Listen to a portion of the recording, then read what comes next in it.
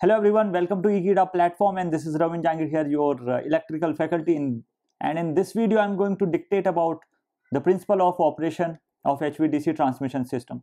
What was the basic components related with this we ha I have already discussed and what was the fundamental related with all the components which we are using nowadays okay now I will move for the principle of operation.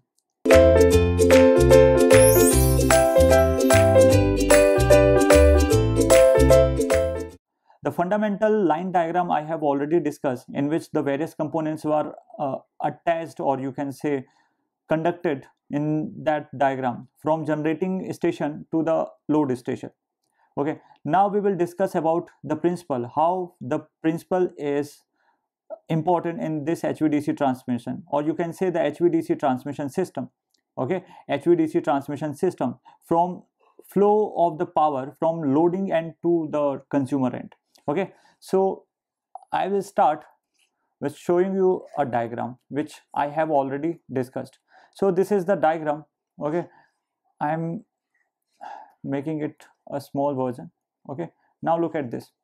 Now if i talk about this basic fundamental diagram then you come to know that then you come to know that it is having the generating point okay? So this is your generator or you can you can say the generator station so generation station where the power is generated in the form of AC okay.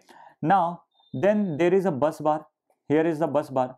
And filters are connected like this which I have been already discussed. And here is the compensator which is shown like this. Okay. This is the circuit breaker number one. And this is the circuit breaker number two if you know about the circuit breaker, it is actually a current interrupting device. If there is a fault condition in power system or power system lines, then the circuit breaker contacts will open and uh, will interrupt the arcing current or you can say the short circuit current which may damage, damage to your system. And this is the transformer T1 and this is the transformer number T2. These are actually called the smoothing reactor which I have already discussed in the last lecture. These are called the smoothing reactor smoothing reactor. Okay? And this is your IDC this is called your DC filter. Okay? And this is also a DC filter. And these are the smoothing reactors. Now I will talk about this one. This is a converter station. One second. This is converter station. Station number one. This is converter station.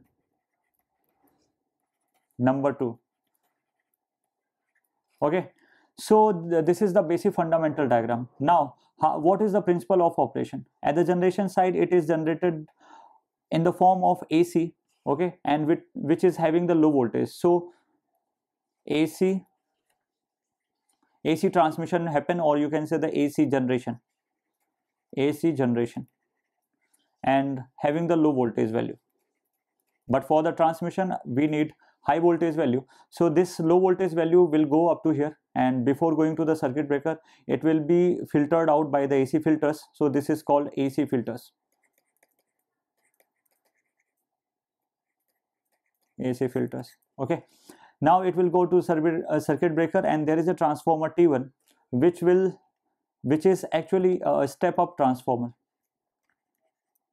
which is actually a step up transformer. It will uh, it will increase the value of the voltage from primary to secondary.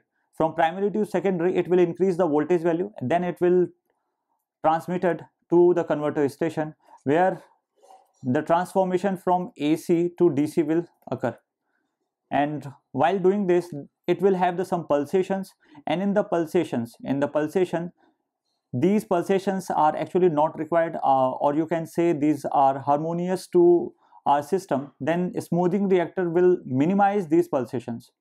And also we have attached the DC filter so the DC filter will also minimize the oscillations which are occurring in the DC now it will transmit it to the uh, this DC link which I have already discussed that it is having the three types of DC links which are one is the homopolar or you can say the I will start with the monopolar, then bipolar, then the homopolar. Monopolar had one only one link for the transmission. Bipolar had the only two, two links for the transmission, and homopolar is having one link and but it is the grounded system neutral grounding written. Then this power will flow from this to this. There is a converter station number two. If I am if I am having the converter station number two, then this DC to AC transmission will happen and this is the transformer T2.